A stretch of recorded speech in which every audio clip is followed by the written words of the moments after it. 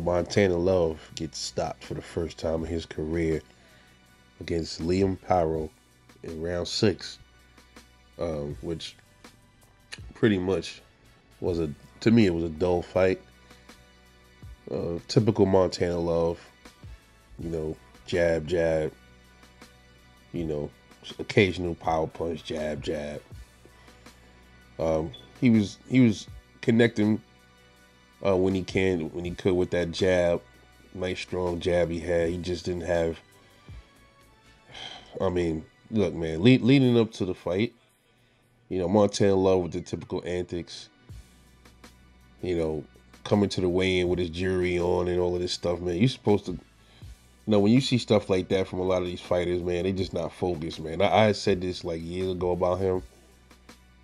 Like, he coming to the weigh-ins and to the fights with this little dog and all this other stuff. He's, he's trying to set a certain persona about himself, man. You know, trying to be kind of Floyd Mayweather like and all of this stuff instead of really focusing on the sport and the craft. Because he's not even, you know, he's not even that accomplished in boxing yet, man. There's nothing wrong with setting your own characteristics and stuff, but sometimes you got to focus on the task at hand, trying to build yourself up and then get there.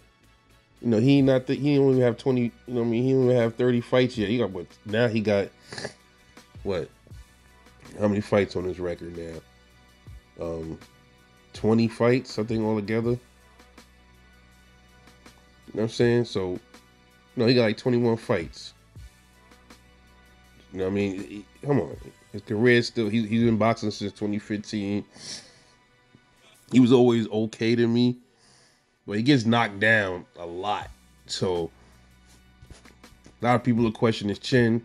I just think he's just susceptible to um of uh, um, flash knockdowns too. But to me, he just never was that good, man. He was okay. He was always, to me, Montana Love was always subpar.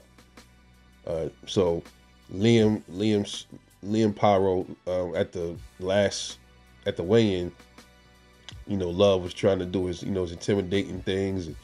Because, you know, Leo, Liam was talking this shit before the fight.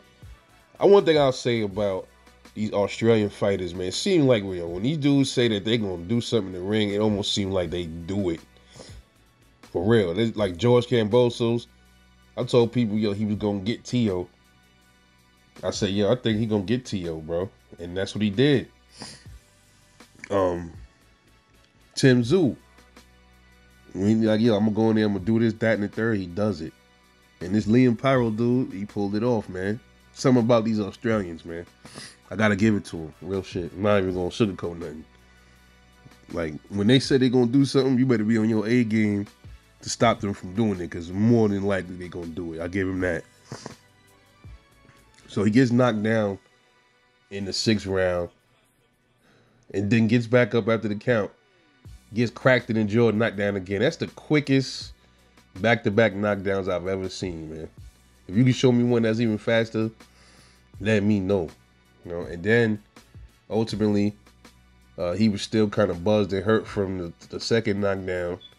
Those two knockdowns took a lot out of him, and then ultimately, man, he couldn't do nothing. He tried to lure uh, Liam to the to the ropes, back up, and then just let Leo just go to town on him, and then they stopped the fight. So this is Montana Love's first knockout. Um, where does he go from here?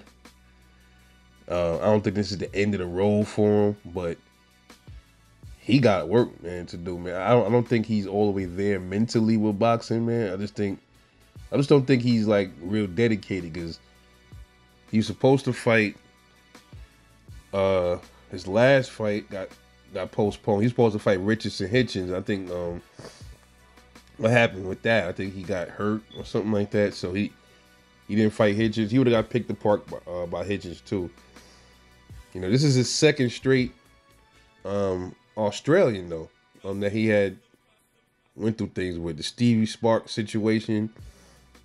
Um, that, that ended in disqualification. He ended up, you know, turning into a wrestling match, throwing dude out the ring, and you know he got disqualified. That was his last fight. You know, that was way that was back in 2022 of November last year. So uh, he's not disciplined, Montana Love. I don't think he's really tuned in fully to the sport. He just enjoys the money and like the notoriety that comes with it. I just don't think he's there. I just don't think he's there with the sport fully. As far as uh, Liam Paro, I believe the winner of this fight is supposed to have lined it up with the winner of Devin Haney versus Regis Prograis, and that's obviously Devin Haney. But uh, we'll see how that one plays out. You know what happens next for Liam Paro.